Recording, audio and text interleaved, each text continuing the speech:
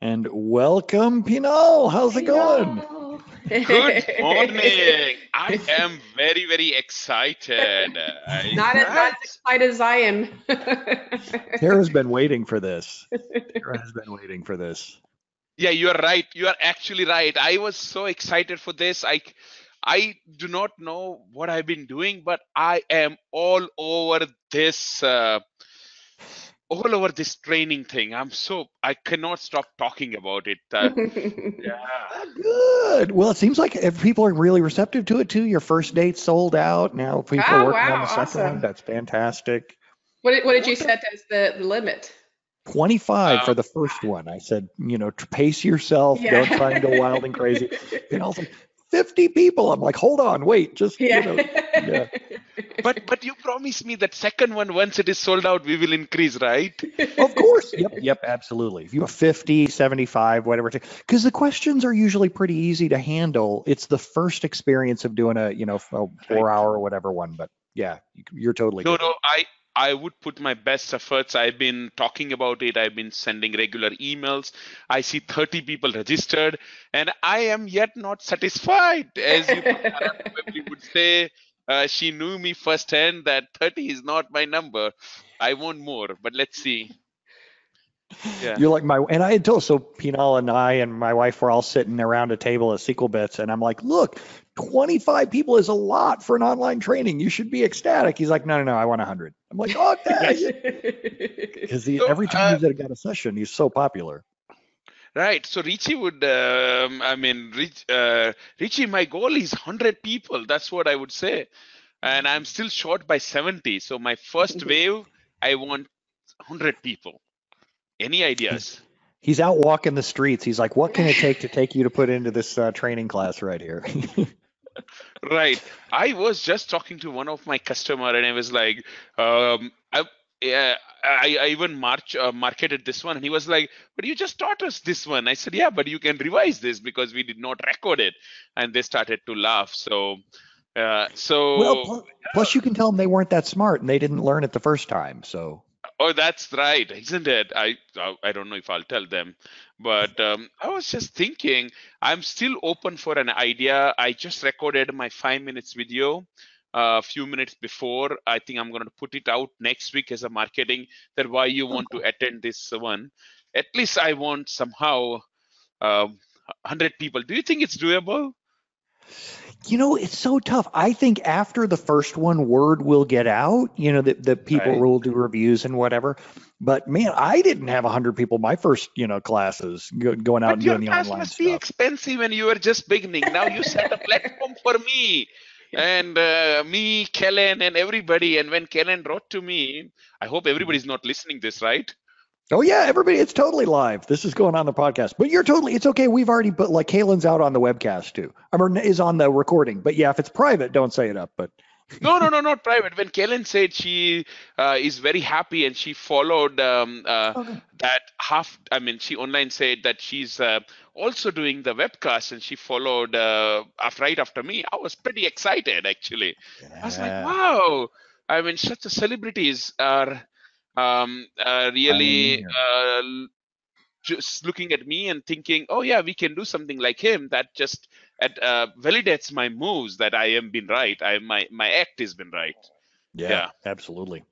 Well, folks, feel free to get your questions in. You can go into the questions pane and GoToWebinar and ask whatever technical questions you want, or blogging questions too, as well, if you want, since we got Pinal here, who's like the uh, big, huge blogger in the SQL Server community. Pablo Fernandez says it's nice to see Pinal here. Michael Tilley says, Yay, Pinal is here. JD says, Hello, world. And our first question comes in from Tishal. Tishal says, I was preparing a report using data collected from Management Data Warehouse. I was using one of its tables, uh, snapshots, performance counter values, and it has some columns in it formatted as floats. Uh, feel free, he says, oh, how do you interpret the results of these columns for replication latency? Oh, well, I, uh, I would say, so Tara, you've done a lot of replication work. When do you, when you want to find out how latent replication is, what do you use in order to do it? I usually just open up Replication Monitor and then I insert a tracer token. Replication Monitor will tell you what the latency is. You know, it's it's, an estimation. But if you insert a tracer token, it'll you'll watch it flow from the publisher to the distributor, and it'll tell you what that latency is, and the distributor subscriber and what that latency is. Um, so the tracer token is a really good way. Um, so some people do um, via code, they insert tracer tokens and then they log that to a table and send out emails. But um, I forget what the script is to run to um, query it, but you know, you could run an extended event session to see what replication monitor is doing to grab that latency number anyway, and then you know mon monitor that via scripts instead of using the GUI. Yeah, use your own scripts to inject a token whenever you want. Uh, Pablo says, with a million row BI table, I'm trying to create a clustered index and I'm constantly running out of disk space. Will partitioning help? Pinal, what do you think? Yeah, that's a very interesting question. Actually, I this reminds me of the time years ago when the discs were very, very expensive. I remember I had experienced this one, and I, even though there was no really reason, I had to partition my table, but the partitioning was actually done just because of this error. So yes, partitioning would help, but it makes sense that you create the second partition on a different drive. Same drive, you're going to walk in into the same problem. Different drive, so now you need to do a partitioning, partitioning functions, as well as you need to go through this entire logic about which is the key, and then you create this horizontal partitioning. So yes, partitioning would help, but if this is not something you are looking for, you may want to look at how you can get more space on a disk by changing the disk maybe in a long run that would be easier or um, yeah any other thing like delete some stuff or move some of the database out of that uh, partition or do something like that that would be more meaningful um, mm. instead of just doing partitioning for a sake of partitioning. And when you are creating the cluster index the heart of your table. So that's my opinion. Yeah so create partitioning if there is no option. Otherwise just do what works actually. At the end of the day your boss should say you are able to manage your database that's what I say to Richie all the time. Richie, you are able to manage your database. I was just not even an hour ago, I was telling Richie, Richie, I want to buy a bigger database server. He's like, nope. Nope. it's not our problem, Brent.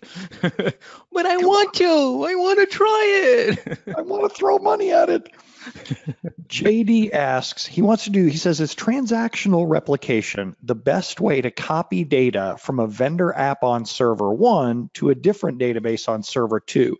It needs to be as close to real time as possible. How should I move data between those? What is with all the replication questions? It's because you're here, Tara. Because you're here. Yeah. I mean, best i don't know are you using standard edition enterprise edition because if i'm using enterprise edition i'm not using transactional replication um, i'm going to be using availability groups and you know i'm going to sync it over there but it just depends what, what, what you're trying trying to do here um, all of the technologies have some latency um, unless you're doing synchronous through you know mirroring and availability oh, he, groups he follows up with he's on enterprise but it's 2008 ah, r2 he does yeah. say they might upgrade to 2017 soon hmm. Yeah, so um, transaction replication is a good tool to copy your data to another server, but you have to be aware that there is going to be um, latency at times when big transactions run. Um, and make sure your replication topology topology is you know to best practices. You've got a publisher on one server, a distributor on another server, and your subscribers on another server. You know, don't put the distributor on um, the publisher or subscriber. I mean, you could if you've got the hardware for it, but best practice is, is, to separate these guys. And you know, just know that it's replicating insert, update, and delete commands, and you know, updates get converted into an insert, into a delete and an insert. So it's at a very high level, and so there, there can be some latency flowing through on that pipeline, whereas mirroring and you know, availability groups occur at a much lower level. Um, but yeah, the 2008 um, Enterprise Edition transaction transactional replication is a good feature. Just I've spent so many hours troubleshooting it and you know waiting for a snapshot to run, waiting for the initialization to happen. I mean, wow, a lot of hours. Mm-hmm. Would you take if somebody offered you a new production DBA job and they said you can be a DBA but you have to work with reputation rep, or with uh, replication full time? What would you I say? Know. I guess it would for, for me taking another job depends upon benefits. I start there and you know a lot of times I don't care how bad the job is if the uh, if the benefits are good. You know? But for me, you know, am I going to be on call and have have to work at three in the morning all the time? Mhm. I don't mind replication so much. You know, it, it was stable in my um, last environment and we didn't have to, you know, do too much with it. When it works. Yes. It, when it works, exactly. That's the key. so I've been on systems where it breaks. Exactly. So, so, so one thing I would just make a comment here is that lot you will find a lot of expert who can configure the replication, but the people who can just really troubleshoot the replication are, I think, there are only one percent. Yeah, it's Yeah. it's not easy task, and yeah. configuring, click, click, click, go, done, Yes. fine. But how do you fix it? And I've even, you know, opened up a case with Microsoft many years ago to, um, I was getting a weird replication error, and I knew that the snapshot and that whole process was going to take several hours, and so I was hoping to fix replication rather than go through that process. And you know, Right. the, the things that they had me do to replication is not something that you find blogs about. I mean, so that you know, I had to open this case with them, and I don't remember what the outcome was if they fixed it or not, because it was just way too many years ago. But it was just crazy the you know the queries that I was running, and they're like, you know, grab this, grab that, look at this, look. It's just like, you know, how are you supposed to know how to do this stuff? Yes. Yeah. Richie, you look like there's something you want to say there in there too. Um, I hate the Cubs. What did they Hate, lose? again? happened to hate? How did did they lose? Who did they Oh, lose they- to? They like they haven't scored a run in like two games. So, Oh, but that's what I wanted to say. So, you can always tell when baseball season starts with Richie, but he's very preoccupied. This is his one. Justin Sutliff says, Richie, don't worry, it's early. Right. Looked like a blue screen of death flag for a second there. and that's what it feels like. Nicholas asks, Hi, gang. How can you prove that other processes and services like Apache or Internet Information Services on the same box are causing the SQL Server performance problems? I, I would never be able to prove it because I wouldn't allow those on my on my SQL servers. I mean, I just I, I need a production DBA here, and I just no, you're not putting that stuff on my box. And why not? Because SQL Server is a memory hog, IIS is a memory hog. You know, they don't. I mean, they could be on the same box if you're talking about a very, very small system, I guess. I mean, maybe in a test environment, but in production, I want to go by best practices and try to avoid having issues at three in the morning. Right. And one of the things I, I, I was just like yesterday I was in uh, traveling into India and I was in Pune and my customer had an interesting scenario. They thought the reporting service is just fine and they have absolutely no issue and they put it on a same box as SQL Server. And I was Mhm. like, okay, we we just uh, try to debug why they have a lot of I/O. We uh, and we try to start debugging with a various T-SQL script and suddenly they accidentally open a task manager and we can see from the task manager's native view that reporting service is taking their maximum amount of the memory. They were like, Mm. I don't know why, what was going on. And we can see that it was taking 30% of their box's memory. And we were like, whoa, I mean, we didn't even have to run any diagnostic script. The task manager was saying it. And as soon as we just decided to turn it off and kill it, and they had a little minor performance improvement, minor, and we believe after they might have restarted, it would have worked. So once in a while, the layman's or not so smart solution like Task Manager also tells a story. I mean, so we should we should definitely run all the fanciest script, but do not ignore the Task Manager. That's what I just uh, told my customer yesterday, and they thought, "Oh, do you tell this to everybody?" I said all the time, though even I said first time yesterday. Yes. I, I too use Task Manager. I mean, sure, I know how to use other things um, also, but so easy. Right click Task Manager, and there it is. Yes. Yeah. And it's everybody gets it, like that they understand this. We're not hiding something from you. It's built into the system. yeah. Right. Nicholas says about uh, why he put things on multiple servers. He says sometimes you inherit things. Man, you got to get better relatives so you don't have such crappy inheritance. Uh, Daryl says, I got an email from a vendor yesterday telling me that I should replicate to the cloud. I thought last week we were saying that we should not do replication. Thought that Brent Ozar Unlimited was saying not do replication. Um, well, generally, if a vendor is telling you to do something, they're usually also selling you a tool to do it at exactly the same time. So just think through about that one. I mean, what problem are, are they trying to solve here? That's what I want to know. Why are they saying to replicate to the cloud? What what is the issue here? Is it disaster recovery? I mean, what what is it? To my, so I'll my, just my tell? I'll just add a point there because I think I know a little bit of context of this because I have seen the similar email and I little bit read through Hmm. it. Uh, I don't know exactly situation of the Daryl, but I would just say this way: I think Quest is a product, uh, uh, I think, and that product is trying to talk about the hybrid uh, replication, which is not native to the SQL Server, and they say you can go to Hybris as as well as heterogeneous uh, environment and at that time always on is not a solution. Might be you may want to consider a replication. So yeah replication is still true um, but in a replication not in terms of the sql server replication replication in terms of taking your data and creating a replica of it at a different location. So maybe that's what they are meaning and the product might be able to solve the problem as brent clearly said And I'm a fan of putting data in the cloud too. Like if you want a reporting copy up there, because classically a lot of our users are out in the cloud or they're out somewhere else.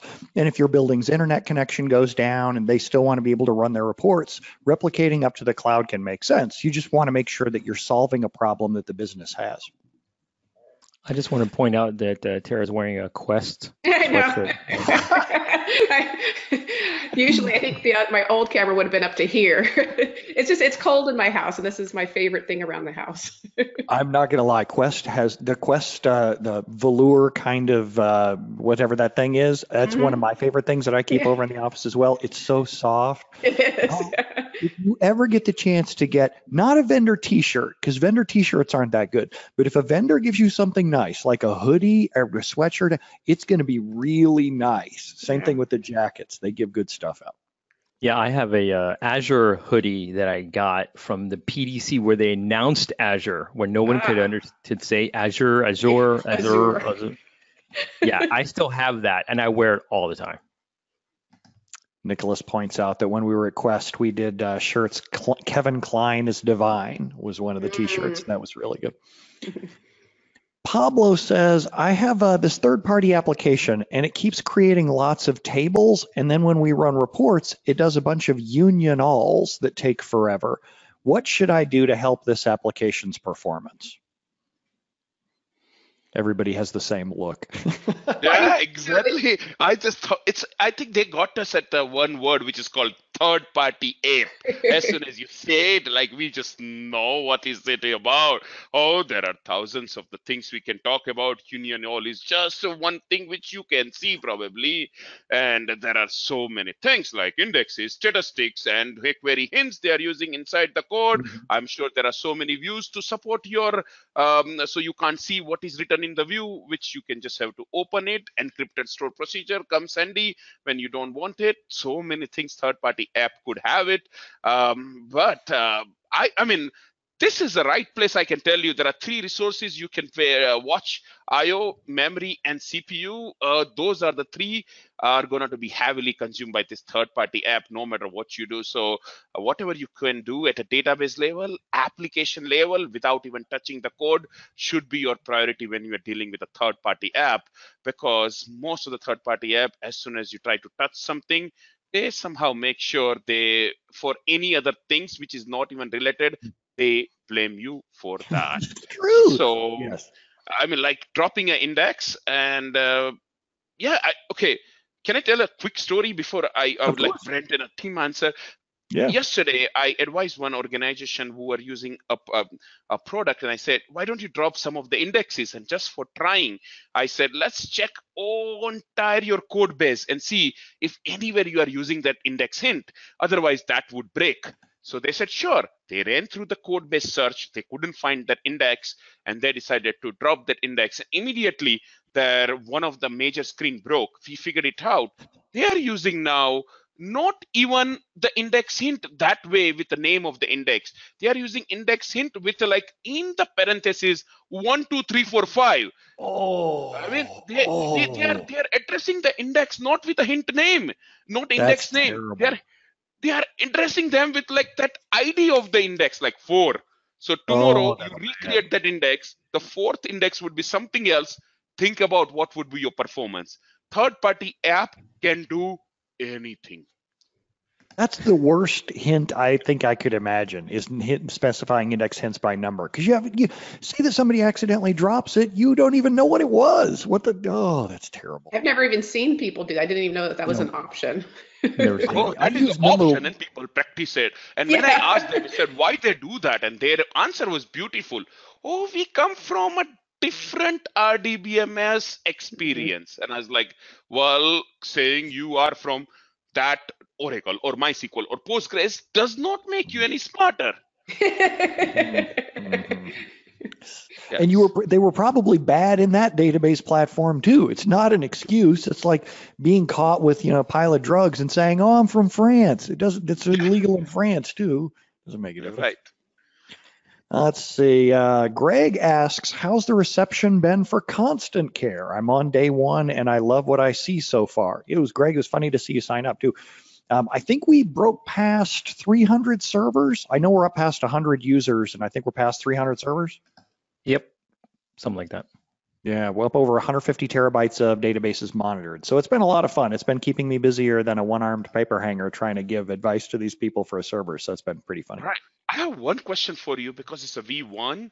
Uh, I I've been reading myself, and this question is from me actually, and I'm just uh, inserting because I get opportunity. And um, who writes all this thing? I mean, it doesn't look automated. It, it was me. So it started with SP Blitz. So SP Blitz gives you all these warnings about your stuff. So I told Right. Richie, here's what we want to build, and we're going to take the rules from SP Blitz. And that's like all the input he had from me, and he just boom took off. Right, the VMware suggestion. I mean, it blew my mind. I I don't I didn't know that. Just reading that email about VMware, I learned something. I was like, oh, I think couple of my customer in the past, I never talk about this. They might be Sure. facing this. They put a complete trust in me, and might I didn't know that part even. Now I just learned a second ago, and uh, yeah, That- uh, to me, I think that's one of the markets too that we're aiming for is consultants and independent freelancers because it's so nice to have a second opinion. Just tell me what's going on else that I might have missed. And so it's really good to get this list of, ooh, you forgot about this one rare issue, you know, it's one Yes. rare, rare poison wait or whatever. So it's been a lot of fun with that. and And, and, and he's not CU lying. I mean, part, can Brent's having can- a blast sorry. doing all this stuff, and I know he is because he gets quiet, and I'm like, oh, oh, he's just having too much fun over there. And Richie Right. can see all the customer emails that I send out too, like seeing out what the recommendations are. So he sees, you know, where I'm tweaking things from the system and how I go into details, and it's fun. This is amazing because one of the thing I'll tell you because one place you have mentioned about CUs, it was Mhm. so nice to talk about CUs because I knew that one and I was so happy. A lot of people do not know. So if you install SQL Server 2016 SP1 right away, and suddenly you will see your locks going crazy. Your locks are so many that you would be like, what happened? I didn't change my code. Everything was fine in a 2014. And as soon as you start updating the latest CU, suddenly all the locks will disappear and there was resource semaphore and then we just had to create one index and resource semaphore gone but if somebody would have not updated the cu which the suggestion was there on a constant care and i was like i can clearly see if this guy has not done cu and four of the server was on a default i Mhm. he would be facing the locking scenario crazy thinking they have a bad code and that's not a case. It's just CU update you just had to do, and your life was all good after that. Yeah. And same if you apply a bad CU, if you buy, apply a CU that breaks things, I want to be able to tell people very quickly. For sure. Yes, yes. Let's see, Mike asks, I've been getting errors. Oh my goodness. Mike says, I've been seeing SQL Server failed to spawn a thread to process a new login in the middle of the night. Should I add logging schedulers? He wants to start logging different DMVs, schedulers, workers, tasks every five minutes. Or what should I do? It's a brand new server with only one database. It's got two cores, eight gigs of RAM, and SQL Server Enterprise Edition. Wh- Why is this server so small when you're spending so much money on Enterprise Edition? That's what I want to know right off the bat. Eight gigabytes of RAM. Ooh, Did you not have my a new spare desktop has a lot phone more. to run the database on? And the two cores thing is tricky too because the minimum core licensing for a VM is four cores. Now, if you're licensing by the host, you can license the whole host and then start small. But That's two cores of Enterprise Edition is fourteen thousand dollars. I mean, it's it's a big deal. I'm not even f- familiar with that message. I wonder, is that a specific SQL Server message? Because that's that doesn't. I mean, I've I've looked at a lot of error messages in the past 20 years or so. That's not one of them I'm familiar with. So I'm wondering if this is something in application error instead. Oh, Mike says it came from DB Mail. Oh, Wait. So now this really makes me suspicious of the number of messages you're processing in terms of DB mail. That seems sketchy. I don't, we should probably ask it around the question too. So my personal thought on DB mail is I don't want to use it to email customers directly. It's one of those things that I would use for administration type stuff, but I wouldn't want to try to make an app server out of it. It's okay. It just doesn't scale that well. Mike says it sends to DBAs. Yeah, it's not so bad. Um, so I could see that. I don't know that I would start by logging the MVs though. I'd start by looking at wait stats, look at wait stats overall and see what you're looking at then. Uh, because there are only two CPUs. So when you say CPUs, I, do you, I assume there are two processors, right? Then he Two might be running out of the threads during the night due to some maybe some other operations. Maybe it might be conflicting with your other uh, maintenance jobs also. Possible. Just Yeah. thinking because you said midnight. Yeah. So it's probably got 50 jobs all starting off at exactly midnight. I used to do that as a DBA. Like, oh, it's the middle of the night. Just set everything to midnight. And then you could see all the lights in the data center get dim right at exactly midnight. Yeah. It's Right, like four actually, o'clock so for when constant books- care. Right. When somebody said midnight, that's the only thing comes to my mind because I don't know why. When I was uh, a beginner, at the 12 p.m. was like oh, the most uh, holiest time. 12 a.m. was the most holiest time to do pretty much everything. Uh, Mhm. fire off the backup, fire off the index maintenance, and let them run in a Quest 22 situation. The server's totally idle from like 10 p.m. to midnight. There's nothing happening. And then it, it's like an army of football players go running into the to the thing at the same time. It's at right at exactly at midnight, and yeah, Yeah. and they never finishes that. Yes. And just to give an extra hint, look for thread pool waits. And so what I would do to for for cheap uh, monitoring, just log who is active to a table every 30 seconds, every minute. You know, you could do it all day long, like like I've done in the past. But if you just want to monitor for this specific issue, log that, and then um, look for thread pool waits. Um, you should see in the wait info column, I believe it is. Um, look for blocking. Um, it, but it, it may not it might not be blocking. It might just be running out of worker threads because you only have two CPUs.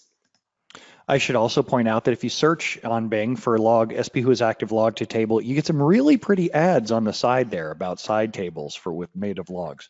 Um, Oh. Tara has yeah, Tara has a, a blog post on uh, logging activity with SP who is active there. That's really good. Right. Oh, let's see. Next up, we have Steven says, I only have read access to a database and I need to take the data out of that and sync it to another database that I have full control over. What way would you use to get that done? You're very limited. SSIS probably. I mean, you only have read access. You can't do replication. You can't add triggers. You can't do you oh. can't do anything. So you're gonna need some oh. kind of process. Right. Or just back up and restore and remove the read restriction. Just thinking, just thinking loudly, even if even if that is possible. Mhm. And Rich used to do a lot of this kind of thing. Yeah, it, it, when when he said sync, that's that's the the key word for me. It's like, well, what does that mean? Does that mean you you need to have, hey, I've got one source of truth here and I got the other in the other database and I got to merge them together? Um, that is a lot more difficult than just saying, hey, I have an ID here and I just need to see if it exists or not in the other one. Um, so SSIS, I guess, um, if it's the easy one, if you need to merge them together, you're looking at a lot of lot of work there. That's that's not that's not simple. At least he said he only has read access to one of them, so it's probably not that, thank goodness. Because that is terrible. Yeah, I, yeah. I mean, it, it said sync. You know, when I say sync, I don't think you know eh, that that that, Yeah. kind of that gets me. I, I've I've spoken to too many executives, so that's my well, problem. and they always end up saying the same thing. We just need to get this one row back to the other side. Yeah. It's just Yeah. one row. How hard can it be? Naveen asks, we have two processes running on SQL Server. One's doing an update, one's doing an insert. They both kick off at the same time and they're getting blocked by each other. What should I do to reduce blocking timeouts? Who is the asker on this? I want to read it again. Naveen, Naveen. Okay. And Okay. so for behind behind the scenes stuff for y'all, we can all see the same panel of questions, but so many of you pick out the questions. The reason why I read your name out, it's not because I care about you. I don't care about you at all. But I want the rest of my co-presenters to see which question we're dealing with. But we would love to mentor you.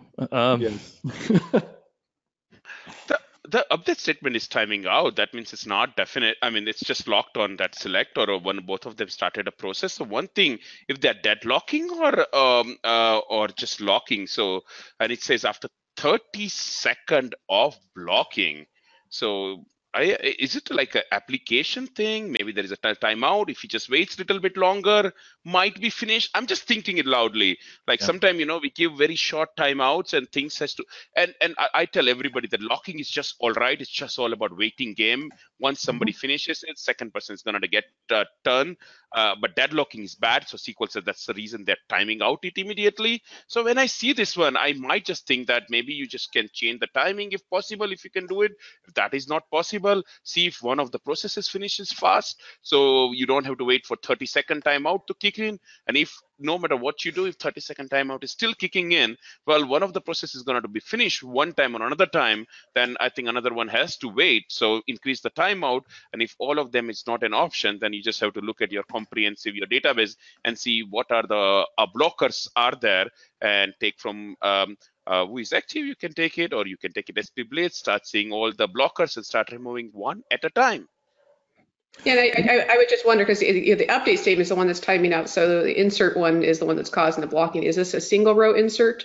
Um, investigate that process. Is it a very large query that's getting inserted into a table? You know, investigate the insert and see if that can happen any faster or any indexes that can be added. I mean, if it's just a singleton insert, you know, Oh my I, I doubt God. that that's the culprit here.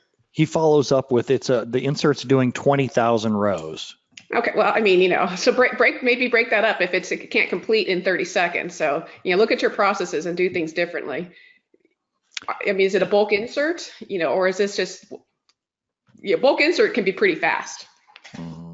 20,000 rows Right. isn't any big deal for bulk insert. One of the thing I would just yeah, what Tara said is very very true. One of the thing, one of the demonstration is my favorite demonstration. So pretty much all my presentation I open with it, where I just show them that how lot of indexes can slow down your your inserts, and a lot of people even they think uh, uh, that it's a linear. So if you have one index, your system uh, is taking three seconds to update. If you create two index, uh, a lot of people say, oh, it will take six index to update.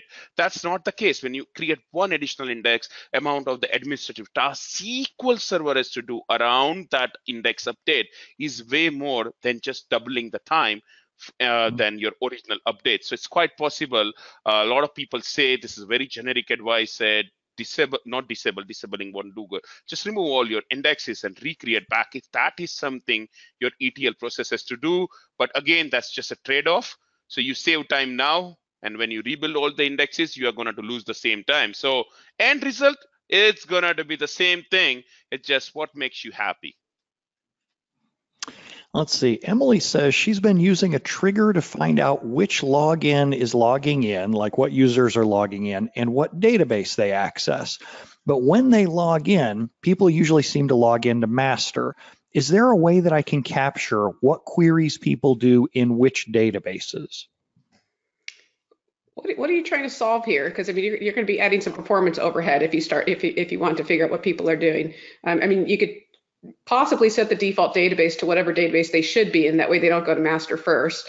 Um, because they're going to end up in the right database with their queries since the applications are working. But if you switch the default database to whatever database they should be in, you might be able to have easier success with this. But I just wonder what you're trying to solve here. I mean, you're, you're obviously auditing, and this is going to eventually cause performance issues. And it's hard when people do cross database queries too. You know, they'll Yeah, they'll true. join across five different uh, databases. Daryl says, "Oh, what?" because they can. Because yeah. they can. Yeah. and Union All because they're third party vendors. Daryl says, I want to get my data offsite. Y'all have mentioned backups to the cloud. What options do I have to get my data off to the cloud that would get me protected quickly? And Tara wrote a white paper about this. I like referring um, to that white paper with um, clients that don't have any disaster recovery in place and they're not willing or not able to currently spend any kind of money um, on a disaster recovery solution. So I'm like, well, how about just this cheap solution where you just send your backups to a storage bucket somewhere in the cloud Um, and then at least have that. I mean, obviously you're going to need to send your source code. You can't just have a database without an application, you know. Um, so you at least get that stuff out there. That way, if the primary site ever goes down, you could spin up servers in the cloud and then restore everything after that. It's not going to be easy. It's certainly not going to be easy. From the database perspective, it's fairly easy. You know, the white paper covers all the steps that need, to happen, but you know, getting your whole environment um, up and running up there is going to be very, very, very painful. But at least you're not toast completely. It's practically free too. It's really cheap to get the log shipping going up there. And then the last one we'll do, JD says, I'm sorry for another replication question. he says, we have indexed views on our replicated database, but because they require schema binding, we're using pre and post replication scripts to drop and create the views and indexes. Is this a bad idea?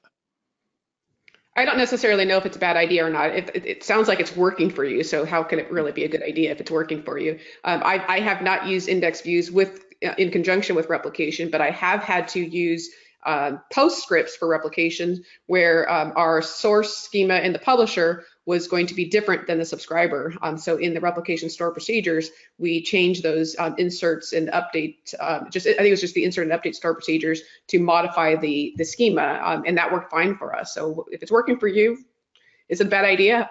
I, have never heard that it's a bad idea, but I don't know that many people are using replication in conjunction with index views. Yeah. Well, thanks a lot, everybody, for hanging out with us this week. Thanks, Pinal, for joining us, and look forward to seeing people in your training class uh, coming up on June as well. Oh yeah, I'm pretty excited. So yeah, we, as I, as we discussed, as we started to discuss, there are a few signups, and I'm looking for a few more people to join us with us because I can promise you it's gonna be fun and a lot of interesting demonstration. And most important thing, what I'm looking at is the module three where cheating is allowed. Ah. And I want to see I want to see how people cheat with each other and come up with the wrong answer.